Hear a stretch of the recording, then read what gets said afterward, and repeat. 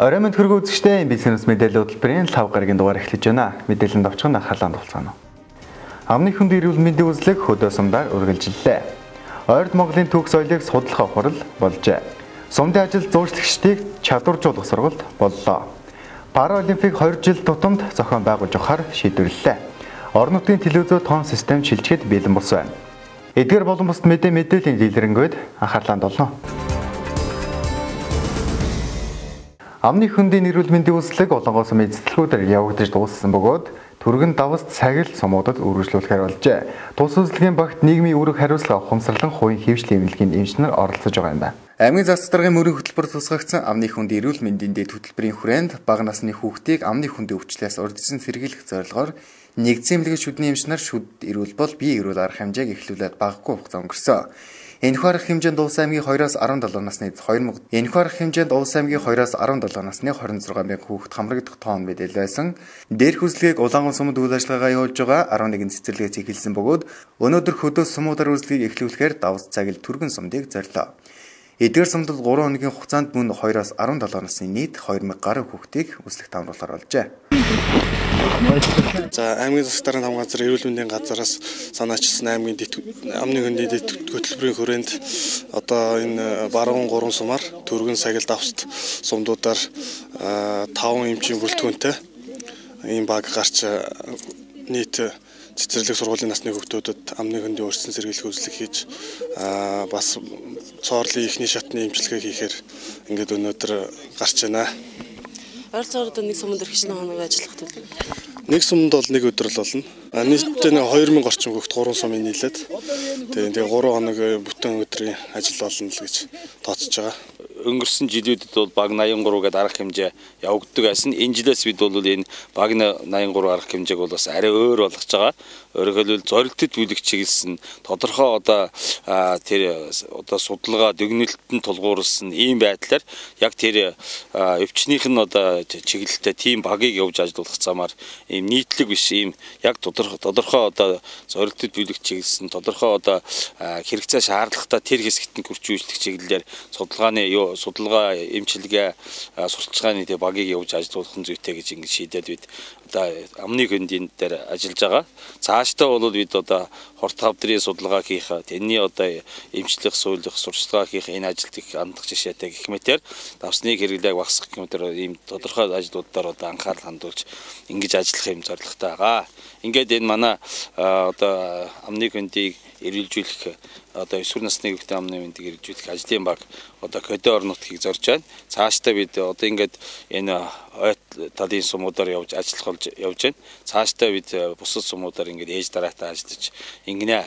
Харин энэ арга хэмжээнд манай иргэд бол их идэвхтэй оролцох ёстой байгаа. Иргэдийн оролцоо тухайн одоо байгууллагын одоо сургууль цэцэрлэгүүд гэдэг юм уу одоо ийм тухайн байгууллагууд тухайн одоо анги хамт олон тухайн көөхөд өр бол одоо энэ амны хөндийн эрүүл мэндийн асуудлаар анхаарах ёстой байгаа. Явж явж бол хувийн одоо эрүүл мэндийн асуудал, хувийн одоо эрүүл мэнд бол тодорхой өмч хөрөнгө учраас энэ одоо нандин юмныхаа төлөө, өөрийнхөө одоо эрүүл мэндийн төлөө, гэр бүлийнхаа эрүүл мэндийн төлөө өрхвөр иргэн бүр одоо анхаарч ингэж ажиллах учиртай байгаа. За манай аймгийн төр захиргааны байгууллага аймгийн эрүүл мэндийн салбараас 2014 онд эрүүл мэндийн чиглэлээр иргэдэд хүрсэн нэлээд олон ажлыг хийхээр төлөвлөсний нэг нь бага насны хүүхдийн амны хөндийн эрүүл мэндийн төвшин тогтоох улмаар эмчилгээ эрүүлжүүлэхийн арга хэмжээ байгаа. Энэ арга хэмжээ өгдөж аймгийн төвд өгдөж одоо сумдад явж эхэлж байна.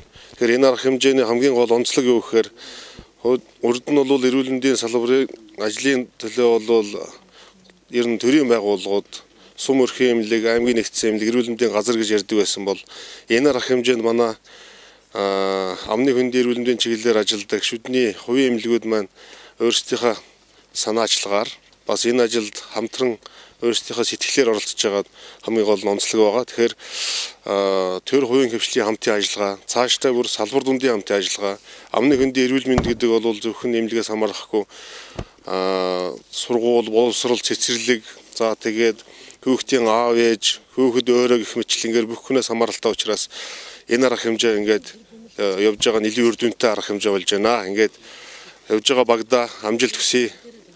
Сайн сайхны хүсье.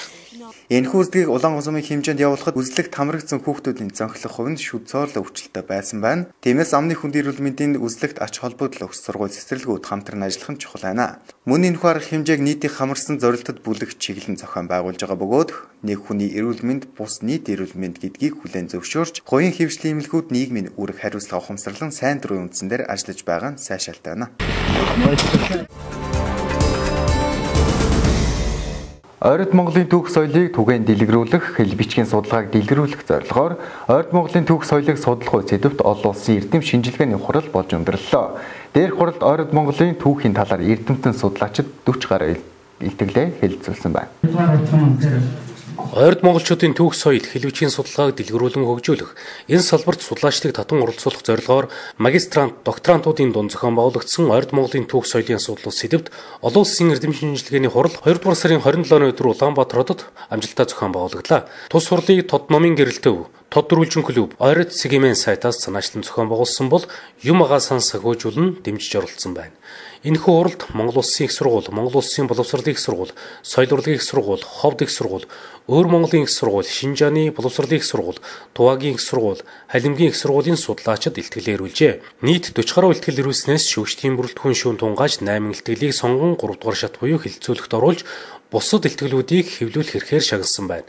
Эдгээр 8 илтгэлүүдэд Идэр дэд сургуулийн багш Монгол Улсын боловсролын сургуулийн магистрант Эрхэн Баярын Ойрд Монголын түүхийн үечлэлийн асуудалд Монгол Улсын сургуулийн докторант Батчаргалын Даштавагийн үйлдвүүдийн нүүдлийн мөр шинжлэх ухааны академийн хилцүүн хүрээлэнгийн эрдэм шинжилгээний ажилтан магистрант Дуранговгийн дөрвөн ордын түүх тууч хэмээх оршив судрын хэлний судалгаа Монгол Улсын сургуулийн магистрант Түндэв цэрэнгийн дээд монголчуудын аман аялгауны өгсөн сангийн тухай шинжилхэн Ховд их сургуулийн магистрант Урунгоогийн бодончийн хавцлаар нутаглагч загчин нарын байгальч шүтлгийн өөрмөц дурсгалууд соёл урлагийн сургуулийн багш докторант Мөнгөн цэцгийн ойрдын бие биелгэний эрүүл мэндийн ач холбогдол Өр Монголын их сургуулийн магистрант Солонгоогийн Монгол баатарлаг туйл дахь цаг барих харгын тухай Монгол улсын их сургуулийн магистрант Алтан шагаан Урайхан газар чиглэсэн Оросын сонирхол зэрэг 8 илтгэл хэлэлцүүлсэн байна. За түүх соёл хэлбэж судлалын тод номын гэрэлтэв хэд хэдэн дэд хөтөлбөр хэрэгжүүлж юм байна. Тэрний нэг нь бол залуу судлаачдыг дэлтгэх, залуу судлаач дэмжих, а тэдний судалгаа шинжилгээг одоо бусдын анхаарал хандуулах тийм зорилготой. Энэ хөтөлбөрийн хоёр хөтөлбөрийн хоёр хөтөлбөрийн дэд хоёр хоёр дэд хөтөлбөрийн хүрээнд энэ магистрант докторант эрдэмтдийн хурал хийж байна. Урд нь бол бид нэр оюутны хурлуудыг хийдэг байсан. Аа тэгээд энэ жилээс эхлээд жилд хоёр удаа болдог оюутны хурлаа. Нэг нь бол магистрант докторантад, нөгөө нь оюутны хэмжээний хурал болгож зарлалаа. Тэгээд шууд зарлахдаа тэр оюутны дөрвөн удаагийн хурлын туршлага дээр үндэслээд бид нэр шууд олон улсын хурал зарлалцсан. Тэгээ манай хуралд бол 40 гаруй илтгэл ирлээ. А 45 илтгэлээс бол Халимгийн их сургуулиас 10 хэдэн илтгэл, Туваагийн их сургуулиас 2, Шинжааны багш их сургуулиас 1, Өөр Монголын сургуулиас 6. За ингээ Хөхнүүр, Гансүү гэдэг олон газар илтгэл ирлээ. Монголын ихтэй сургуулиас бүгд илтгэл ирлээ. Тэгээ бид эндээс 32 илтгэл илтгэлийг ялгаж аваад 8 илтгэл ингээд өнөөдөр сонсоод эрдэмтдийн хурал хийлээ. Хурал амжилттай боллоо. Бид их баяртай байна. Энэ бид бол ойрд монголчуудын түүх соёлыг заавал ингэж нь Монгол судал дотор тусгаад нь авч үзэх шалтгаан нь бол ойрд монголчууд олон газар тарцсан бутарсан одоо бие даан орших чадвар их багтаа байгаа учраас түүх соёлын судалгааг ямар нэгэн байдлаар нэгтгэх яг судалгааны хүрээнд нь одоо нэгтгэх хэрэгтэй байна л да. Жишээ нь Шинжаанд нэг үйл ажиллагаа судалгадаад байдаг, Монгол судалгадаад байдаг. Тэр чинь хамтран судлах ёстой. Эсвэл нэг нэгний олон амжилт ашиглах ёстой гэсэн зорилгоор юм ойр Монголын судалгааг хийгээд байгаамаа. Хурал их амжилттай боллоо бид их баяртай байна. Эдгээр ихтгэлээс Өр Монголын иргэн Монгол Улсын их сургуулийн докторант Бүгд найрамд Хятад улсын Шинжаан урд зас хорны судлаач Бачаргалын Даштавагийн үйлдвүүдийн нүүдлийн мөр ихтгэл тэргүүн барьжилсан бол 2 дугаар байранд Монгол Улсын шинжлэх ухааны академийн хилцэн хүрээлэнгийн эрдэм шинжилгээний ажилтан магистрант Дуранговгийн дөрвөн ойрдын түүх тууч хэмээх оршив судрын хэлний судалгаа сэдвт ихтгэл 3 дугаар байранд Бүгд найрамд Хятад улсын Хөхнөр мужийн иргэн Монгол Улсын их сургуулийн магистрант Түндэв цэрэнгийн дээд монголчуудын аман аюулгууны өгсөн сан шинжилхэн сэдвт илтгэл тус тус шалгарч өргөмжлөл судалгааны бүтээл номын дээж мөнгөн шагналаар шагнагдсан байна.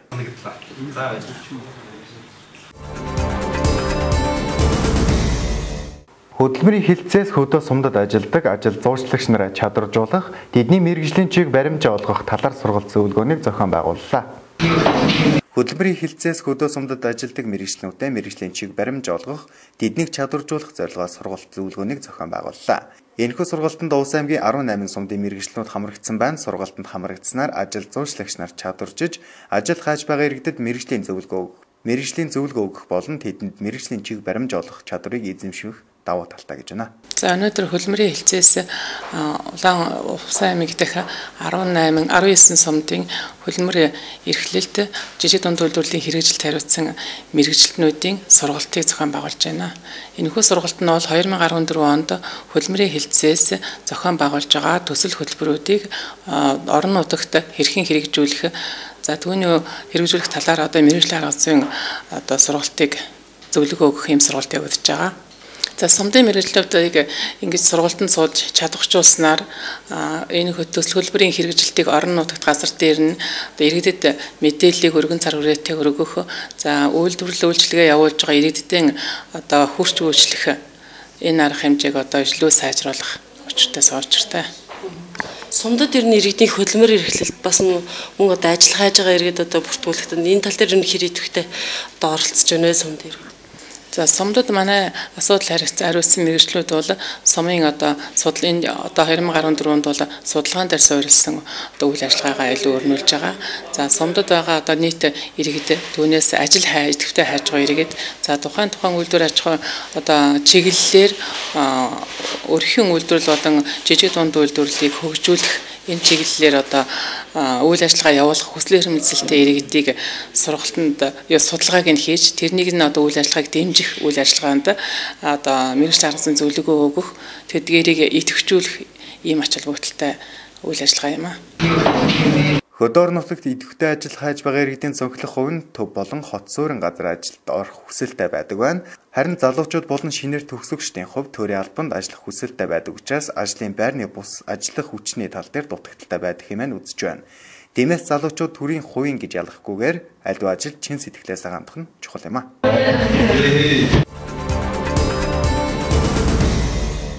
Ирэх сараас эхлэн аймгийн бүх ард түмний спортын баг наадмыг зохион байгуулахаар сумдад албан бичих хургуулсан байна. Мөн аймгийн засаг даргын захирамжаар Паралимпик 2 жилд нэг удаа зохион байгуулж явахаар шийдвэр гаргасан байна. Биеийн тамир спортын тухай хуулийн 10 дугаар зүйлийн 10 15 дахь заалд хүн намыг биеийн тамир спортын уралдаан тэмцээнд өргөнөөр хамруулах, идэх сонирхлыг уурнуулах, тамирчдын спортын ур чадварыг дээшлүүлэх, олимпик төв дэлхийн дүүшинд өрсөлдөх тамирчдыг шалгаруулах, нээнэглэрүүлэх зорилгоор спортын хатгаар наадмыг аймаг бүсийн хэмжээнд зохион байгуулахаар сумдад албан тоод хүргүүлсэн байна. Энэхүү тэмцээний анх шатны шалгаруулалт сумдад зохион байгуулагдаж эхэлсэн байна. 2 3 дугаар шатлалыг эх саруудад зохион байгуулах бөгөөд 6 сард бүсийн хэмжээнд 15 төрлөөр спортын анхдуур наадмыг зохион байгуулах юм байна. 2014 оны үйл ажиллагааны төлөвлөгөөнд орсон хамгийн том арга хэмжээ маань аймгийн засаг даргын үйл ажиллагааны мөрийн хөтөлбөр тусгагдсан 2 жил тутамд аймгийн баг наадмыг хөгжлийн бэрхшээлтэй иргэдийн наадмыг бол 2 жил тутам зохион байгуулна гэж энэ тусгагдсны дагуу 14 онд бол ус аймгийн хэмжээнд спортын анх дугаар баг наадмыг бол аймгийн хэмжээнд 3 ишттайгаар зохион байгуулахаар бид нар бэлтгэл ажлынхаа ажилдаа ороод байгаа. За энэ баг наадам маань анхан шатндаа бол сум байгууллагын хэмжээнд бол анхан шатнд зохион байгуулагдана. Хоёр дахь шат нь бол бүсийн хэмжээнд бид үндсэндээ бол хөдөөгийн сумууд аймгийн хэмжээ төвийг ингээ хамруулад нийтдээ 5 бүс болгож хуваасан байгаа. Тэгээ энэ бүсийн тэмцээн маань 4 сар 4 5 саруудад бол зохион байгуулагдана. А арга хэмжээнийхээ шгшээ тэмцээний нь бол 6 сард бас зуны дэлгэр цагт те аймгийн хэмжээнд бүр спортын том баяр наадам ингэж болгохоор ингэж бэлтгэл ажиллаа хангаад байгаа. За мөн энэ жилийн маань баг наадмын бас нэг онцлог нь болохоор хөгжлийн бэрхшээлтэй иргэдийн олимпийн баг наадмыг бол спортын дөрвөн төрлөөр зохион байгуулж байгаа.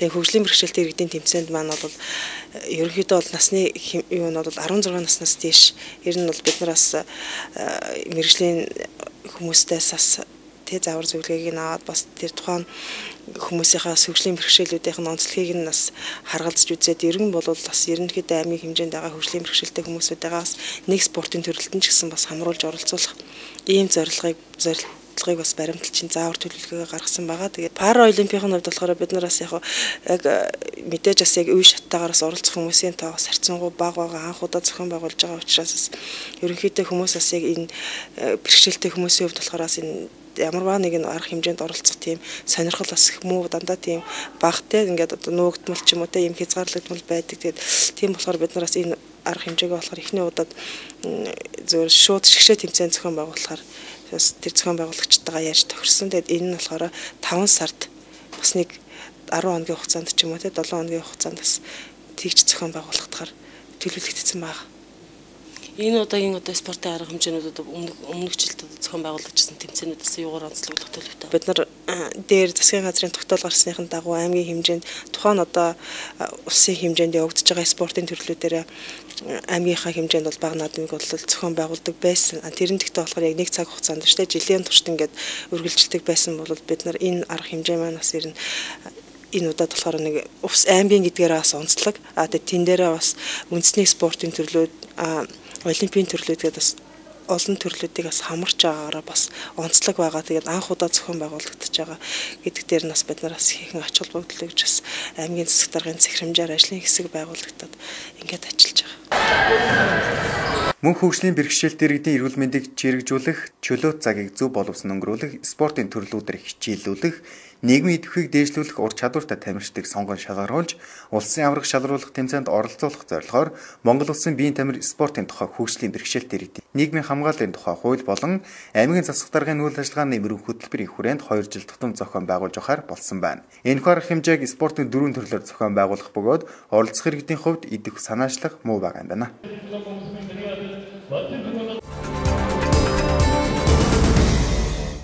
2014 оны 7 дугаар сарын 1-ээс эхлээд бүх телевизээр тоон систем шилжихээр болсон. Тиймээс орон нутгийн телевизөө тоон систем шилжихэд бэлэн нисэх болон тоон систем шилжихийн тулд хэрхэн бэлдэх талаар улс хэлэлцүүлэг зохион байгуулсан байна. Саяхан орон нутгийн телевизүүдэд удирдах зөвлөлийн чуулга уулзалт Улаанбаатар хотод болж өндөрлсөн байна. Дээрх чуулга уулзалт дээр телевизүүдэд бүсчлэн хувааж удирдах зөвлөлийн гишүүдэд томилсон байна. Мөн энэ оны 7 дугаар сарын 1-нд телевизөө тоон систем шилжих болсонд холбогдуулан техник технологийн шинжилэл тоон систем шилжихийн тулд хэрхэн бэлтгэх талаар хэлэлцсэн байна. За энэ сарын 3-наас 4-ний өдрүүдэд Улаанбаатар хотод орон нутгийн телевизийн удирдах ажилтнуудын одоо сургалт семинар боллоо. Энэхүү сургалт семинарыг бол орон нутгийн хэл мэдээллийн одоо холбоо санаачлан зохион байгуулж за хамтран зохион байгуулагчлаар мэдээлэлт технологи шууд харилцаа холбооны газар за харилцаа холбооны зохицуулах хороо за Калвин телевизийн үйлдвэрч нэвлэл за Дидиш ТV гэх мэт газрууд хамтран зохион байгуул байгуулцлаа. За энэхүү сургалт семинарын одоо гол одоо зорилго бол одоо 7 дугаар сарын 11-нд бол Монгол орон даяар За Монголын телевизүүд бол тоон системд бол шилжинэ. За энэ хүү тоон систем шилжихэд бол хөдөө нутгийн телевизүүд маань бэлэн байдалд байна уу? Хөдөө нутгийн одоо хэрэглэгчид энэ хүү тоон систем шилжихэд бэлэн байдалд байгаа эсэх. За дээр нь одоо сүүлийн телевизүүдийн бизнесийн чих хандлага ер нь ямар төвшөнд явж байгаа юм. За дээр нь сэтгүүл зүйтэй холбоотой за хөдөө нутгийн одоо сэтгүүлчдийн одоо өнөөгийн нөхцөл байдал ах амьдрал ямар байна телевизүүдийн өөрсдийнх нь хүчин чадал ер нь ямар байгаа талаар орон нутгийн телевизүүдийн одоо өдөртөх ажилтнууд хоёр өдөр өөрсдийнхөө зовлон жаргалыг бол хуваалцлаа. За нэг нөгөөгөө одоо чөлөөтэй ярилцлаа. За энэ хөө хоёр өдрийн үйл ажиллагааны төгсгөлд бол за орон нутгийн телевизүүдийн холбоог бол байгуулсан. За энэ хөө одоо холбоог одоо байгуулснаар орон нутгийн телевизүүдийн өөрийнх эрх ашигыг одоо хамгаалах юм нөхцөл бол зайлшгүй тулгарч байгааг бол орон нутгийн телевизийн удирдлагууд бол санал нэгтэй баталж энэхүү холбоог одоо байгууллаа. За энэхүү холбоог бол за дөрвөн бүсд хуваасан. Дөрвөн бүсд хувааж одоо баруун бүсийн хариуцсан удирдах зөвлөлийн гишүүнээр одоо намайг сонголоо. Манай завхан ховд говьлта баяуулгийн Зовс аймгийн телевизийн удирдлагуудын төлөөл болсон. Телевизүүд байна одоо хуралдаж. Баруун бүс хариуцсан удирдах зөвлөлийн одоо гишүүнээр одоо намайг сонгож баруун бүсийн одоо орон нутгийн телевизүүдээ бас одоо дуу хоолойг нь нэгтгэх үйл ажиллагаанд нь дэмжлэг үзүүлэх мэтх олон ажлуудыг хамтарч хийхээр боллоо. За орон нутгийн телевизүүдийн хувьд бол тоон систем чилжинэ гэдэг бол нэлээдгүй бэрхшээлтэй юм асуудал байгаа. За хөрөнгөний асуудлаас одоо хамааралтай За энэ хөө 7 сарын 11-нд шууд шилжих үгүй юу бэлэн байдал байгаа юу гэдэг дээр бол асуудал холдож яригдсан. Тэгэхээр үнэхээр орон нутгийн телевизүүд маань тоон систем шилжихэд бол нэгдүгürt бэлэн бус байна. За ерөнхийдөө орон нутгийн телевиз байтугай Монголын телевизүүд маань өөрсдөө бэлэн бус байгаа шүү дээ. Тэгэхээр эхнийг бол хосолсон одоо системээр явж байгаад одоо шийдэх үү эсвэл ямар нөхцөл байдалтай шийдэх үү гэдэг дээр бол орон нутгийн телевизийн удирдлагууд бол бас өөрсдийн санал бодлоо бол төрийн байгууллагууд өөрсдийн санал бодлоо илэрхийлсэн. Дээр нь орон нутгийн телевизүүдийн одоо санхүү хөрөнгөний одоо чадал бол нэг тэр бүрээ тийм сайн биш юм байдаг. Тэгэхээр энэхүү нөхцөл байдалд бол төрөөс дэмжлэг үзүүлэх нөхцөл болцоо байгаа юу орон нутгийн телевизүүдэд.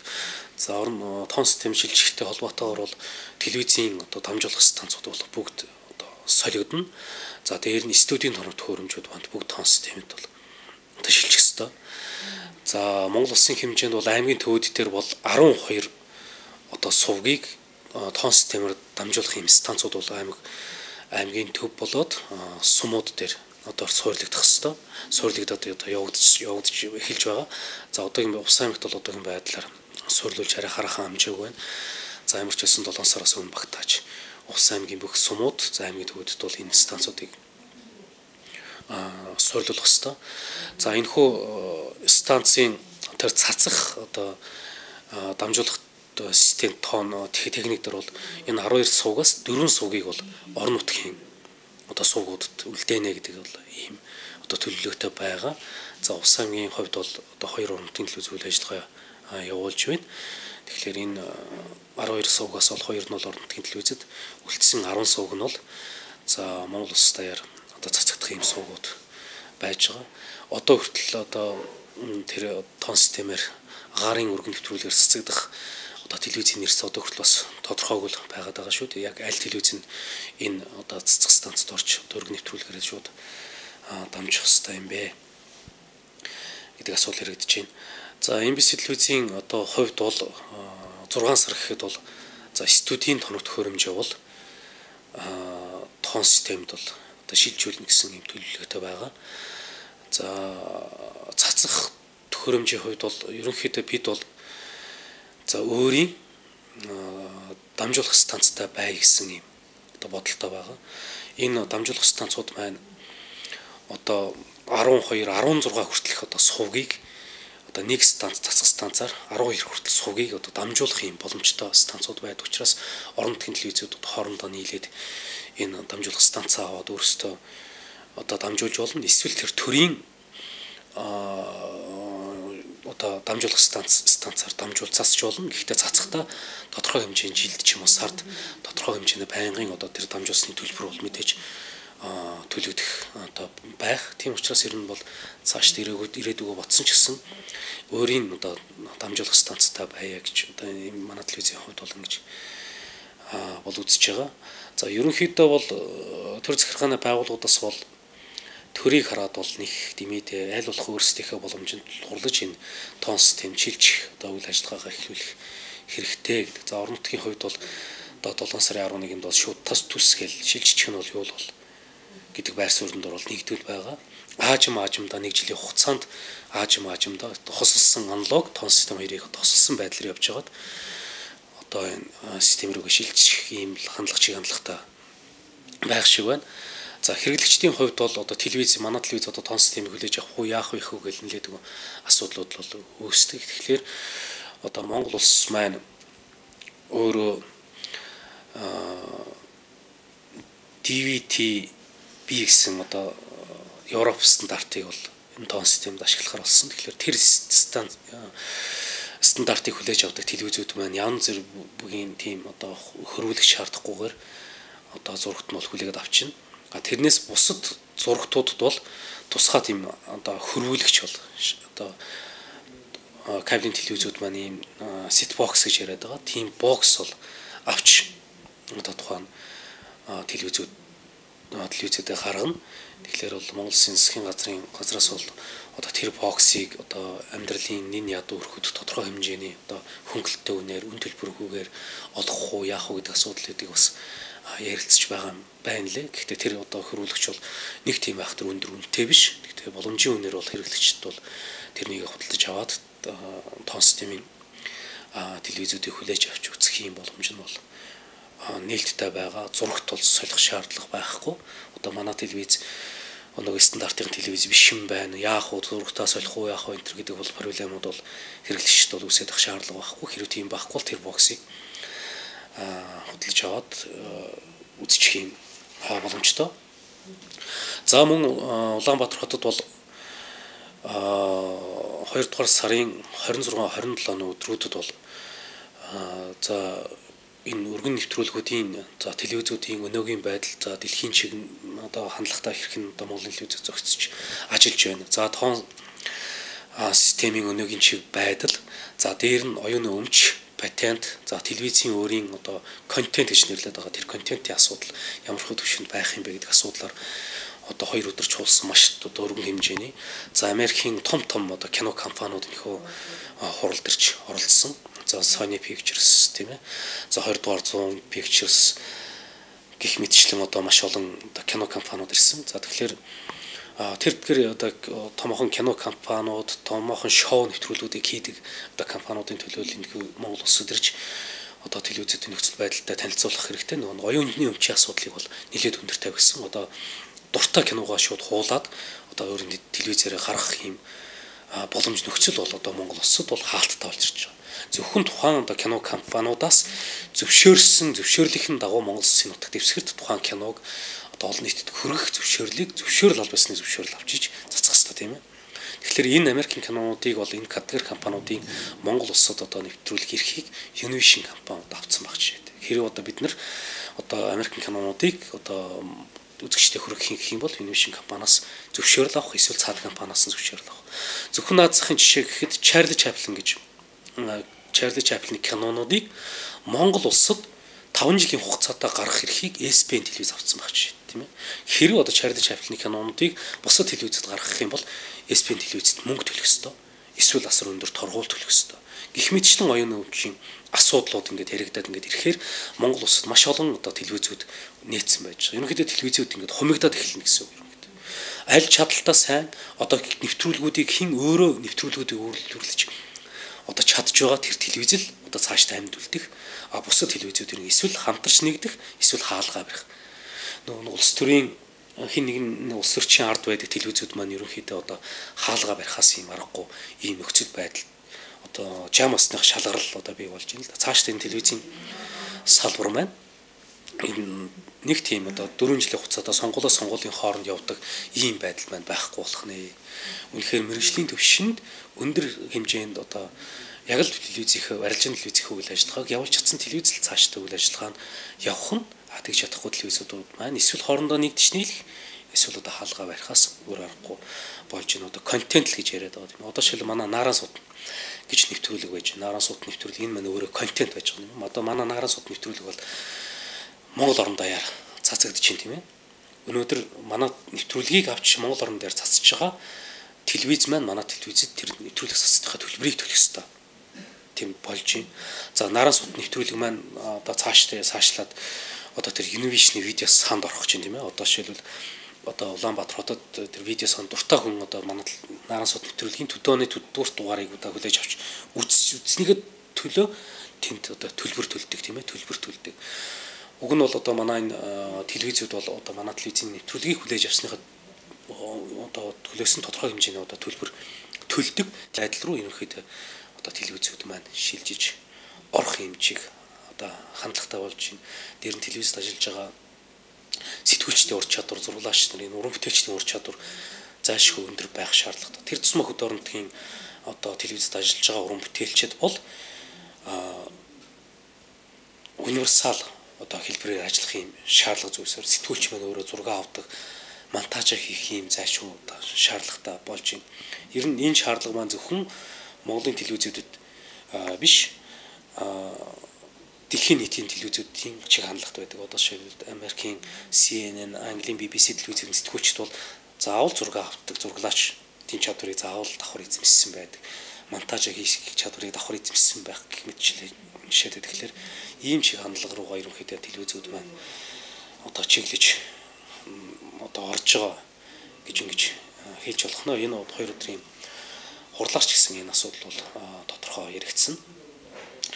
За ерөнхийдөө бол одоо нөгөө нэг 7 сард тон системтэй шилжихтэйгээ холбоотой ер нь телевизүүд телевизүүд маань одоо бүгд хамтдаа улсын Бээжин хотод жилд одоо хавар намрын одоо энэ телевизийн гэлтгүй ер нь телевиз киноны техник технологийн бол томоохон үзэсгэлэн худалдааг бол жилд хоёр удаа Бээжин зохион байгуулдаг юм байна. Тэгэхээр энэ жилийнхэн одоо үзэсгэлэн бол 3 сарын 21 22 өдөр бол Бээжин хотод одоо зохион байгуулагдана. За тэгэхээр орон нутгийн телевизүүдийн холбоо маань орон нутгийн телевизүүдийг одоо нэгтгэхэд энэхүү үзэсгэлэн одоо үзэсгэлэнт бол оролцуулах гэж байна. За манай баруун бүсийн телевизүүдээс бол тодорхой хэмжээний одоо явах боломжтой гэсэн телевизүүд маань энэхүү үзэсгэлэнт очиж оролцоод за ер нь ямар ээж тэгж технологийн тоног төхөөрөмжүүд ямар тоног төхөөрөмжүүд байна ямар үнэтэй худалдаж авч болохоор байна гэдэг одоо тодорхой хэмжээний одоо анализ центр хийгээд тэгээд энэ одоо тоног төхөөрөмжүүд маань төд орчим одоо сайт өргөнд одоо энэ тэр тоног төхөөрөмжийг худалдаж авах нэ гэдэг нь тодорхой хэмжээний нэг юм болчоод за энэ тэр одоо ерөнхийдөө орон нутгийн телевизийг тон систем шийдвэрлэхэд тоног студийн болоод дамжуулах одоо төхөөрөмжийн төхөөрөмж бол нэг одоо 100 сая төгрөг болох нь 100 сая төгрөгийн тодорхой хувийг одоо төр засгаас гаргаж өгөх боломж юу вэ гэдэг асуудлыг л төр засагтаа одоо тавих гал ингээл одоо энэ хөө үзэсгэлэн хөдөлт юунд бол үзэсгэлэнт одоо оролцох гээд ингээд байж байна.